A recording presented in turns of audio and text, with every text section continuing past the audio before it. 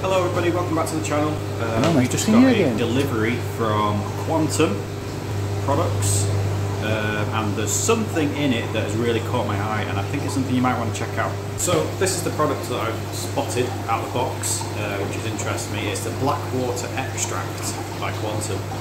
Um, it's supposed to soften your water and make it into that kind of black water, brownish tinted niceness that some people are into and some people are not into. Uh, but I thought it would be a pretty cool idea to try it out on the big tank with the piranhas in because I think they'd look great. Okay, so after reading the label on the bottle, it seems pretty cool actually. There's like different amounts you can put in for different amount of tanning. You can go really dark with it or you can just do a light tan. It seems really natural is the word I'm trying to find. Uh, they're all leaf extracts.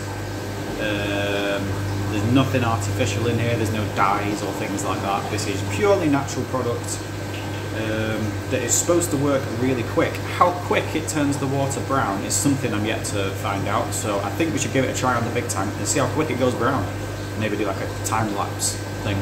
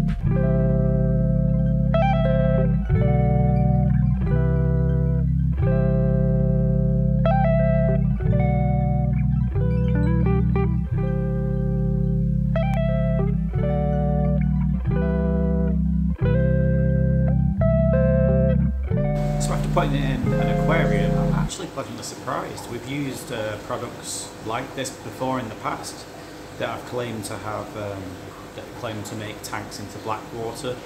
We actually tried to film a video of it once, and Reese poured it in, and nothing happened. But this was so instant and great.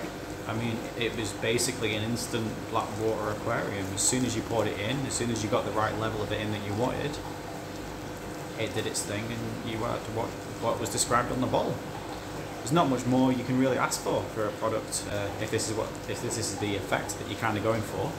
So yeah, come in store, come and check it out.